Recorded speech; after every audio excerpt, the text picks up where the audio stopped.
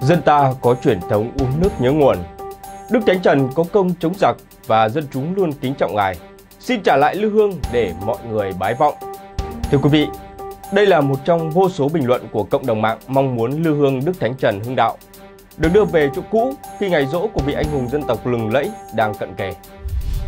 Leo thang căng thẳng sau khi bị Washington đâm sau lưng vụ tàu ngầm, Pháp triệu hồi đại sứ tại Mỹ và Australia. Cựu Bộ trưởng Quốc phòng Pháp ủng hộ nỗ lực của các học viên Pháp Luân Công nhằm chống lại cuộc bức hại ở Trung Quốc.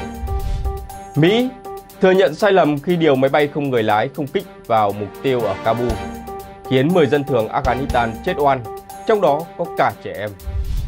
Bức tường những người mất tích của người Duy Ngô Nhĩ khiến Bắc Kinh nổi giận. Chuyên gia cho rằng Đảng Cộng sản Trung Quốc đẩy mạnh thực hiện văn minh mạng nhằm mục tiêu bịt mọi lỗ hổng, đề cập đến tính chính danh của chế độ. Phòng Thí nghiệm Quốc gia Canada và quân đội Trung Quốc hợp tác nghiên cứu virus gây ra tranh cãi. Quý vị và các bạn đang theo dõi tin tổng hợp trưa ngày 18 tháng 9 của DKN TV. Và sau đây là các nội dung chi tiết.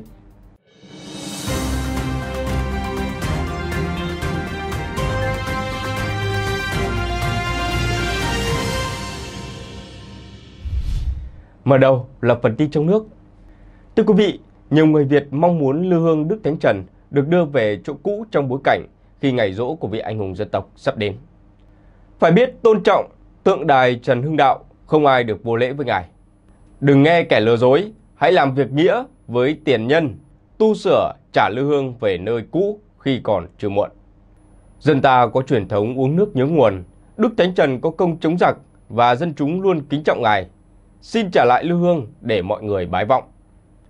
Trên đây chỉ là vô số các bình luận được cộng đồng mạng Việt Nam phản hồi sau khi đọc bài viết Nhân dỗ Đức Thánh Trần cần đặt lại lưu hương và tôn tạo tượng đài Trần Hưng Đạo của báo Người Đô Thị đăng ngày 17 tháng 9, 2021.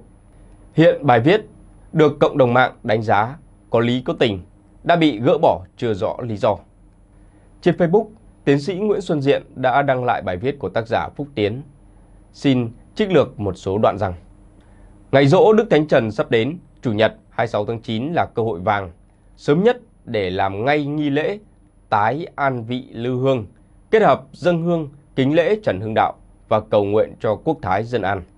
Tục ngữ có câu tháng 8 dỗ cha để nhắc nhớ ngày dỗ anh hùng Trần Hưng Đạo 20 tháng 8 âm lịch. Người được coi không những là cha mà còn là Đức Thánh, được nhân dân thờ phụng từ nhiều thế kỷ. Tại Sài Gòn, từ lâu đã có đền Trần Hưng Đạo trên đường Võ Thị Sáu, quận 1 và tượng đài Trần Hưng Đạo ở quảng trường Mê Linh, dọc bến Bạch Đằng. Hai tuần trước ngày dỗ Đức Thánh Trần, khi đến viếng địa điểm tượng đài, chúng tôi không khỏi bùi ngùi khi thấy quang cảnh tại đây vắng lặng. Không lưu hương, không hương khói, chân và thân tượng bên trên cùng, các bức phù điêu bên dưới loang lổ bong chóc nền gạch chung quanh nhiều chỗ sụp lún, xuống cấp. Theo tác giả, tượng Đức Thánh Trần ở quảng trường Mê Linh do họa sĩ Phạm Thông, sinh năm 1943, mất 2016, tạo tác, được xây dựng từ năm 1966 đến 1967. Đây chính là tượng đài Trần Hưng Đạo đầu tiên trên cả nước. Bức tượng cao 6 mét được thiết kế theo hình tượng lưu truyền trong sử sách. Tướng quân ra trận chỉ tay xuống dòng sông, nêu lời thề đanh thép Đánh trận lần này, nếu không thắng giặc sẽ không bao giờ trở về bến sông này nữa. Thần thái của bức tượng thể hiện dáng uy vũ của một anh hùng và qua đó là ký quách của cả một dân tộc. Hình ảnh bức tượng oai phong đã ghi dấu trong lòng nhiều thế hệ và có nhiều phiên bản được dựng lại nhiều nơi trong và ngoài nước. Bệ đặt tượng và chiếc hồ bán nguyệt. Dưới chân tượng cũng là một thiết kế tuyệt đẹp, làm nên khu vực tượng đài độc đáo. Bức tượng Trần Hưng Đạo được đặt trên một khối tam giác cao khoảng 10 mét Mỗi mặt tam giác đều có các bức phù điêu lớn màu gạch son, kể lại điển tích ba lần Đại Việt đánh đuổi quân Nguyên Mông. Trước mặt chính tượng đài hướng ra bờ sông Sài Gòn, ngay từ khi xây dựng đã có một lư hương to lớn, chạm khắc rồng đặt uy nghi trên bệ riêng. Đây là nơi dân hương không thể thiếu để tưởng nhớ Đức Thánh trong các ngày lễ trọng và cho khách thập phương thăm viếng. Tuy nhiên theo tác giả, rất tiếc chiếc lư hương trước tượng đài Trần Hưng Đạo đã bị di rời một cách kỳ lạ cách đây 2 năm đúng vào ngày kỷ niệm 40 năm quân dân ta đánh trả cuộc xâm lược của Trung Quốc ở biên giới phía Bắc. Nó được rời về đền Trần Hưng Đạo, đặt trên lối vào trước một lư hương đã có trên sân đền. Sau khi đi thăm tượng đài, chúng tôi liền đến đền Trần Hưng Đạo để xem hiện trạng chiếc lư hương. Chúng tôi rất mừng khi thấy lư hương cùng bệ vẫn còn đặt trên sân và có mái che nắng mưa tạm. Tuy nhiên, việc đặt hai chiếc lư hương bên nhau với kích cỡ và kiểu dáng khác biệt đã cho thấy một hình ảnh khập khiễng và quan niệm thờ phụng lạ lùng. Song quan trọng hơn cả, việc rời lưu hương từ tượng đài Trần Hưng Đạo đến đây đã vi phạm các nguyên tắc về kính lễ tổ tiên và anh hùng liệt sĩ. Thật vậy, trên cả nước hiện đang có nhiều quảng trường công viên hoặc điểm công cộng có đặt tượng đài Trần Hưng Đạo từ Nam Định, Hải Dương, Hải Phòng đến Nha Trang, Quy Nhơn và các đảo lớn ở Trường Sa. Tại những nơi này đều có lưu hương để cắm nhang tưởng nhớ. Vậy mà vì sao lưu hương ở tượng đài Trần Hưng Đạo đầu tiên của cả nước lại bị bóc rỡ? Theo tác giả, vốn dĩ theo thiết kế truyền thống Á Đông, lư hương là một phần quan trọng không thể không có trong cảnh quan của các đền đài, tượng đài, bia kỷ niệm người mất, đặc biệt là các danh nhân và thần thánh. Ở phương Tây, các tượng đài không có lưu hương theo kiểu phương Đông, nhưng luôn có nơi đặt hoa tưởng niệm và nhất là ngọn lửa vĩnh cửu, tượng trưng cho niềm thương nhớ các liệt sĩ. Chúng tôi cho rằng việc rời lưu hương của tượng đài Trần Hưng Đạo ở quảng trường Mê Linh không những làm mất đi phương tiện tỏ lòng tưởng niệm vị anh hùng, mà còn làm giảm đi sự tôn nghiêm cần thiết của không gian này. Tác giả đề xuất, nếu biết tôn tạo đầy đủ và đúng cách, nơi đây sẽ là địa điểm rất phù hợp cho các sự kiện học hỏi và tiếp nối truyền thống dân tộc, đề cao tinh thần độc lập bất khuất của Việt Nam. Đồng thời, đó cũng là một điểm đến hấp dẫn cho người dân thành phố và du khách để thư giãn và thưởng ngoạn không gian lịch sử hay đẹp. Tác giả còn nhắn nhủ, chính Đức Thánh Trần và các bậc tổ tiên anh hùng đã và đang góp nhiều sức mạnh tinh thần quý báu cho cuộc chiến phòng chống đại dịch Covid hiện tại và phòng chống kẻ địch bên ngoài xâm lược, đừng để Trần Hưng Đạo một lần nữa của trách. Nay, các người ngồi nhìn chủ nhục mà không biết lo, thấy nước nhục mà không biết thẹn, làm tướng triều đình phải hầu quân giặc mà không biết tức, nghe nhạc thái thường để đại yến ngụy sứ mà không biết căm, hoặc lấy việc trọi gà làm vui đùa, hoặc lấy việc đánh bạc làm tiêu khiển, hoặc vui thú ruộng vườn, hoặc quyến luyến vợ con, hoặc lo làm giàu mà quên việc nước, hoặc ham săn bắn mà quên việc binh, hoặc thích rượu ngon, hoặc mê tiếng hát. Tiếp theo, xin mời quý vị đến với phần tin thế giới. Bộ Ngoại giao Pháp bất ngờ triệu hồi đại sứ tại Mỹ và Australia sau khi cả hai quốc gia này đạt được hiệp ước quân sự và hợp đồng tàu ngầm mới. Các đồng minh không làm điều này với nhau. Ngoại trưởng Pháp Jean-Yves Le Drian nói hôm 17 tháng 9 cho biết quyết định triệu hồi các đại sứ được đưa ra bởi Tổng thống Emmanuel Macron do hành vi không thể chấp nhận được giữa các đồng minh và đối tác sẽ ảnh hưởng đến liên minh, quan hệ đối tác của chúng ta và tầm quan trọng của Ấn Độ Dương-Thái Bình Dương đối với châu Âu. Đại sứ quán Pháp tại Washington đã hủy một buổi dạ tiệc vào tối 16 tháng 9, kỷ niệm mối quan hệ đồng minh lâu đời Mỹ-Pháp. Rất hiếm khi đại sứ được triệu hồi từ các quốc gia đồng minh thân thiết. Đây là tín hiệu cho thấy sự tức giận của chính phủ Pháp. Phản ứng của Pháp được đưa ra sau khi Australia ký kết thỏa thuận với Mỹ và Anh để đóng tàu ngầm hạt nhân và xé bỏ hợp đồng tàu ngầm trị giá khoảng 40 tỷ USD hiện có với Pháp. Điều đó khiến các quan chức cấp cao của Pháp cáo buộc Mỹ đâm sau lưng. Nguồn tin Axios cho biết, đại sứ Pháp tại Vương quốc Anh không bị triệu hồi. Ngoại trưởng Mỹ Antony Blinken đã cố gắng xoa dịu căng thẳng bằng cách ca ngợi Pháp là một đồng minh quan trọng ở Ấn Độ Dương-Thái Bình Dương. Ông cho rằng thỏa thuận mới giúp Australia đóng tàu ngầm hạt nhân như một phần của Hiệp ước An ninh ba bên với Anh và Mỹ vừa ký kết. Bước đi lịch sử giúp Liên minh Mỹ đối mặt với những thách thức mới. Thỏa thuận AUKUS được đưa ra chỉ một ngày trước khi EU công bố chiến lược Ấn Độ Dương-Thái Bình Dương theo Asean. Động thái này của Mỹ, Anh và Australia khiến các quốc gia châu Âu hết sức bất ngờ. Thưa quý vị, cựu Bộ trưởng Pháp ủng hộ nỗ lực của các học viên Pháp Luân Công nhằm chống lại cuộc bức hại ở Trung Quốc theo báo cáo của Minh Huệ Net, ngày 7 tháng 9 năm 2021, Hiệp hội Pháp Luân Đại Pháp tại Pháp nhận được thư phản hồi của ông Hervé Morin, cựu Bộ trưởng Quốc phòng Pháp và hiện là chủ tịch của Normandy ở Pháp, bày tỏ sự ủng hộ của ông đối với nỗ lực phản bức hại của các học viên Pháp Luân Công trong hơn 20 năm qua. Trong thư, ông Morin viết, các học viên Pháp Luân Công đã bị Đảng Cộng sản Trung Quốc bức hại trong 22 năm. Vào ngày 20 tháng 7 năm nay, tưởng niệm 22 năm các học viên nỗ lực phản bức hại. Các học viên Pháp Luân Công từ khắp thế giới đã hành động để phản bức hại. Họ cũng nhận được sự ủng hộ từ nhiều chính phủ và nghị sĩ để công khai những bức hại mà các bạn đã phải gánh chịu. Ông tiếp tục, điều đặc biệt có ý nghĩa quan trọng đối với tôi đó là Normandy tự khẳng định mình là một vùng đóng vai trò quan trọng trong việc thúc đẩy các giá trị hòa bình và tự do trong khu vực và quốc tế. Ông Morin phục vụ tại Bộ Quốc phòng Pháp từ năm 2007 đến năm 2010 và là chủ tịch của Normandy Nord từ năm 2016. Normandy là một trong 18 vùng ở Pháp và là nơi có hơn một chục thành phố tự trị lớn gần Paris và Bỉ. Đó cũng là khu vực đông dân thứ tư ở Pháp. Đã 22 năm kể từ khi Đảng Cộng sản Trung Quốc bắt đầu bức hại Pháp Luân Đại Pháp hay còn gọi là Pháp Luân Công năm 1999. Việc Đảng Cộng sản Trung Quốc bắt giữ, kết án và giam giữ phi pháp các học viên vẫn tiếp diễn trên khắp Trung Quốc đến ngày nay. Cũng giống như các học viên Pháp Luân Đại Pháp ở những quốc gia khác, các học viên ở Pháp cũng kiên trì phơi bày cuộc bức hại của Đảng Cộng sản Trung Quốc, đồng thời chia sẻ những lợi ích của Pháp Luân Đại Pháp với công chúng. Nhiều cư dân Pháp bắt đầu tu luyện Pháp Luân Đại Pháp ở nhiều thành phố. Sau khi biết những gì xảy ra ở Trung Quốc, nhiều quan chức đắc cử đã công khai lên án cuộc bức hại. Ở diễn biến khác, chỉ huy Bộ Tư lệnh Trung tâm Mỹ, Đại tướng McKenzie thừa nhận không quân Mỹ mắc sai lầm khi điều máy bay không người lái UAV không kích vào mục tiêu ở Kabul nghi là IS, khiến 10 dân thường Afghanistan thiệt mạng. Tướng McKenzie cho biết vụ không kích bằng máy bay không người lái UAV ngày 29 tháng 8 nhằm vào mục tiêu nghi là thành viên của nhóm nhà nước Hồi giáo Khorasan, ISK, nhánh Afghanistan của tổ chức nhà nước Hồi giáo IS tự xưng. Vụ không kích khiến 10 dân thường Afghanistan thiệt mạng, trong đó gồm 7 trẻ em. Vụ không kích là một sai lầm bi thảm, tướng McKenzie nói trong cuộc họp báo ngày 17 tháng 9. Tướng McKenzie cho biết chính phủ Mỹ đang nghiên cứu cách thanh toán khoản bồi thường thiệt hại cho gia đình những người thiệt mạng trong vụ không kích nhằm. Bộ trưởng Quốc phòng Mỹ Lloyd Austin thì xin lỗi các thân nhân của những người thiệt mạng trong vụ không kích nhầm. Tôi gửi lời chia buồn sâu sắc nhất tới các thân nhân của những người thiệt mạng, Austin cho biết trong thông cáo. Chúng tôi xin lỗi và sẽ cố gắng rút kinh nghiệm từ sai lầm khủng khiếp này. Tướng McKenzie nói, các lực lượng Mỹ ngày 28 tháng 8 theo dõi một chiếc Toyota màu trắng trong 8 giờ sau khi phát hiện chiếc xe xuất hiện tại một địa điểm ở Kabul mà tình báo Mỹ xác định là nơi các thành viên của ISK chuẩn bị cho một vụ tấn công nhằm vào sân bay Hamid Karzai. Chúng tôi chọn mục tiêu là chiếc xe này dựa trên hành trình của nó tại khu vực mục tiêu mà chúng tôi quan tâm, tướng McKenzie nói. Rõ ràng thông tin tình báo của chúng tôi về chiếc Toyota màu trắng đặc biệt này đã sai. Tướng McKenzie thừa nhận không ai trong số 10 người thiệt mạng có liên hệ với ISK.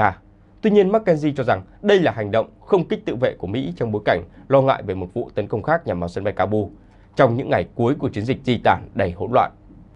Tướng này nói lực lượng Mỹ không phát hiện bất cứ dân thường nào vào thời điểm họ được phép công kích. Tuy nhiên, một trong những nạn nhân của vụ không kích nhầm là Asmarai Amadi, thành viên của nhóm viện trợ của Mỹ. Bộ trưởng Austin xác nhận Amadi không có mối liên hệ với ISK.